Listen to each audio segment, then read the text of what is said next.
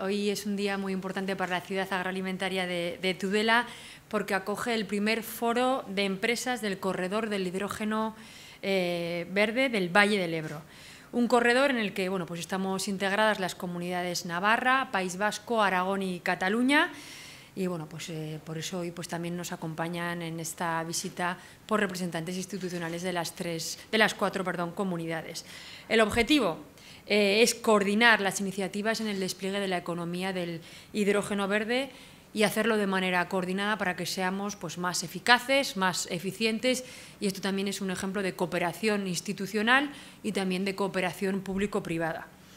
Eh, tenemos claro que la economía del hidrógeno verde es la economía del futuro. Es verdad que desde hace años, de hecho, desde Aragón nos contaban que llevaban ya 20 años trabajando en, materia del hidrógeno verde, porque es una energía limpia, limpia, pero que ha sido a raíz, sobre todo, de la crisis eh, energética, donde se han ido acelerando todos estos proyectos que apuestan, como digo, por una energía limpia.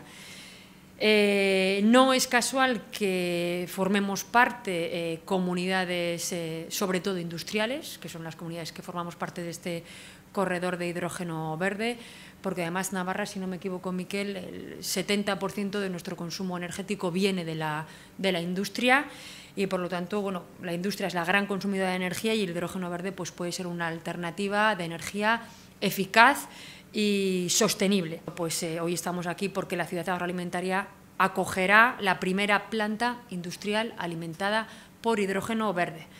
Es un proyecto, es un proyecto piloto, eh, público-privado, que es un proyecto además de gran envergadura, que prevé una inversión muy importante, en torno a los 10 millones de euros, que va a ser financiada por fondos europeos y que será capaz de producir 10 megavatios de energía.